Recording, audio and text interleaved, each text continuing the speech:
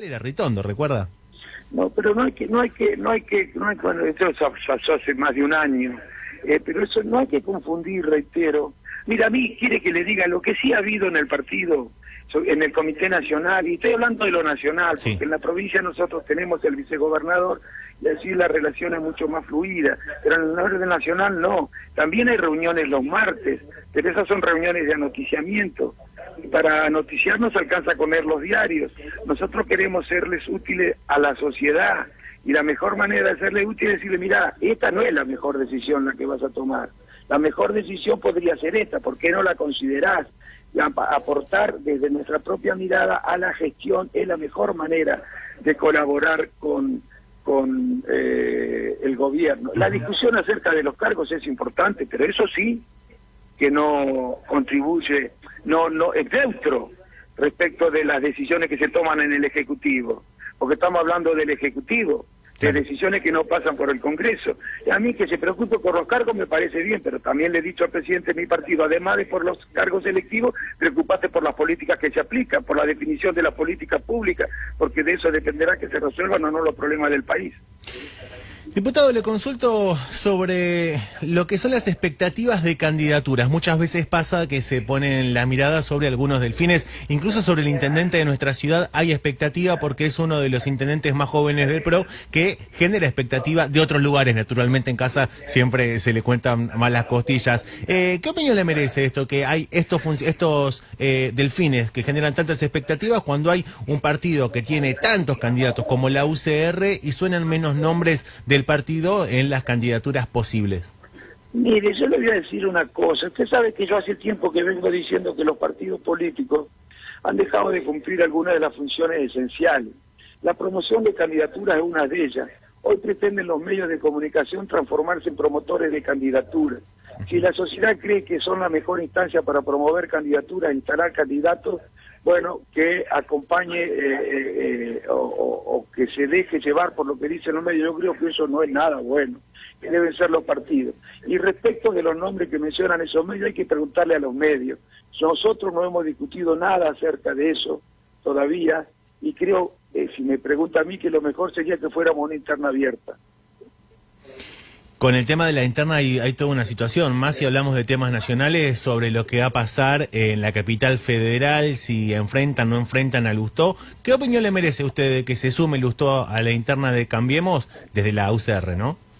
Yo no entiendo al PRO, porque el PRO, a ver, eh, en la provincia de Buenos Aires, por ejemplo, y en otras provincias, con el pretexto, con la excusa de que es necesario ampliar la base política o el volumen político de Cambiemos, cosa que es cierto, ha salido a invitar a distintas fuerzas políticas o dirigentes, por ejemplo, del Frente para la Victoria de la Cámpora, con ese pretexto al que me refería recién, y sin consultar, por supuesto, a la Unión Cívica Radical. Sin embargo, en la capital federal se niegan a sumar al frente en el que está el radicalismo, se llegan a sumar a los radicales, no quieren que los propios radicales, liderados en este caso por Lustón en el marco de un frente llamado ECO, puedan ingresar a Cambiemos. Eso no es congruente con lo que están haciendo en otros lugares. ¿Cuál es la razón por la que existe esa incongruencia? Porque me parece que es cierto que el PRO quiere ampliar la base de sustentación, pero tiene que darse una condición. Ampliamos la base de sustentación siempre y cuando la hegemonía del PRO hacia adentro de Cambiemos no se ponga en riesgo. Y eso es poner el carro delante del caballo, creer que el PRO es más importante que Cambiemos. Eso es que el árbol no te deje ver el bosque, de manera que espero que cambien de actitud. Eso es construimos y convocamos, pero en mi distrito que lo tengo asegurado no. En los distritos, en lo que a ver, no sumo en los distritos en lo que puedo perder hegemonía hacia adentro de Cambiemos. Eso es obvio, no sé cómo los medios de comunicación no lo ponen de manifiesto, porque es obvio, cualquiera que hace política, el que tiene la mínima experiencia política sabe que esa es la razón por la cual no quieren que en Capital se sume, se sume Lustó. Diputado, para no restarle... Lo que pasa es que acá hay, medios, acá hay medios que juegan mucho, y yo se los digo a la sociedad, a mí no me parece mal, todos los medios juegan, uno más inteligentemente, otro menos inteligentemente, todos los medios juegan en la Argentina y en el mundo, y así siempre ha sido a lo largo de la historia. Para eso nacen los medios incluso, ¿eh? para tomar, así lean la historia de los medios de comunicación. Bueno, y este y bueno, entonces que la sociedad maneje con espíritu crítico, con mirada crítica, eh, todas las informaciones que reciben. El diputado Monzó en el programa de Mirta Legrand reflotó la idea de trasladar la capital en esta cuestión, bueno, que todavía no, no, se salda, de ser federales, de que los medios del interior, los ciudadanos, los vecinos del interior vivimos mirando la capital. Es un proyecto que usted, claro que conoce. ¿Qué, qué, qué opinión le merece? ¿Cómo le cae este proyecto?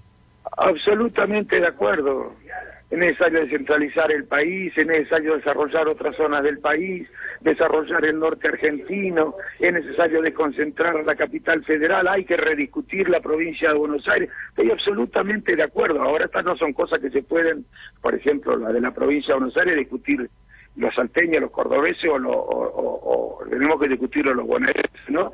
Pero son cosas absolutamente necesarias. Gracias a Dios ahora se dan cuenta. Muchas cosas son reconocidas ahora. Me eh, refiero a las que eran rechazadas en la década del 80. Un poquito más de humildad los que ahora dicen que habría que hacer algunas cosas eh, y cuando nosotros las proponíamos, no me refiero a Emilio, que era un chico, nos llamaban inútiles. Eh, para terminar y no restarle más tiempo, sabemos que tiene la agenda comprometida. Este año el, Congreso va a sesionar muy pocas veces, este, porque bueno, están muchos ocupados de cuestiones electorales, pero el régimen penal juvenil, las extinciones de dominio, hay cosas que son muy importantes y que los ciudadanos lo necesitamos. Eh, teniendo con, con los aliados y con sectores del peronismo de que pueden y han sacado leyes por consenso, ¿no se puede replantear estas cosas? ¿Qué necesitamos para que sí, señor. Sí, señor. Le aclaro que para dar un ejemplo más acerca de cómo la opinión pública puede formarse de manera equivocada, ¿sabe quién es el autor del primer proyecto de ley de extinción de dominio? ¿Es, suyo? ¿Quién habla? ¿Quién habla? Sí. Ahora, en todos los medios apareció la autoría eh, de otra persona. Pero bueno, no importa, porque claro, no quieren que hacia dentro del partido se fortalezcan los sectores que pueden tener posiciones más, más, más, eh, más exigentes ¿eh? en Cambiemos. Pero bueno, dejémoslo por ese, dejémoslo eso, simplemente para dar un ejemplo. Eh, creo que sí, creo que tenemos que tratar además la ley de góndolas. Usted sabe que es muy desigual la relación entre las pymes y los supermercados. Y los supermercados se apoderan de su, de su situación, este, de, de esa situación desigual. Son mucho más fuertes que los productores pymes bueno, tenemos que impedir que abusen de ellos en los precios, en los plazos de pago, eh, eh, en, muchísimas condiciones de, contratación eh, abusan.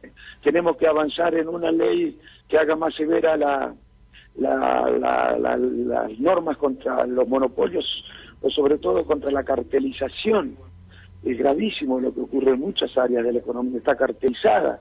Y eso es también una medida social, no solo económica, porque a través de la monopolización o cartelización se quedan con plata de las familias argentinas, porque cobran más de lo que deben cobrar los sectores cartelizados. Hay que avanzar en un Consejo Económico y Social para que se, funcione como una eh, instancia consultiva del Congreso y del Ejecutivo con el Seguro Nacional de Salud. Da la sensación que está todo por hacer. Pero hay muchísimas cosas por hacer. Lo que pasa es que el radicalismo debe recuperar autonomía y no debe esperar a que el resto de los socios de Cambiemos le digan sí, estamos de acuerdo. Vamos a presentar nuestro proyecto y discutámoslo. Sí, la verdad que es muy, es muy interesante, la verdad que es un gusto poder hablar con usted, lo vamos a volver a molestar para poder hablar un poco de nada, este, pero es reflexionar este, también un poco de todo. Diputado, le agradecemos muchísimo la gentileza del diálogo. Bueno, muchísimas gracias, Lautaro. Un abrazo grande. Gracias. Lo mismo para usted. El diputado nacional, Ricardo Alfonsín, a propósito de, bueno, lo que ha sido en los resultados la convención eh, de los radicales de ayer que se realizó en La Plata, acaba de finalizar la apertura de las sesiones legislativas eh, en el distrito de Pinamar, aquí en nuestro Consejo Deliberante, así que nos organizamos, buscame, poneme una, un, un ¿qué tenés? ¿Una tanda? Ponemos una, un, una tanda, un tema que vamos a tomar contacto con concejales de nuestra ciudad para que nos digan también, bueno, cómo fue este inicio de sesiones.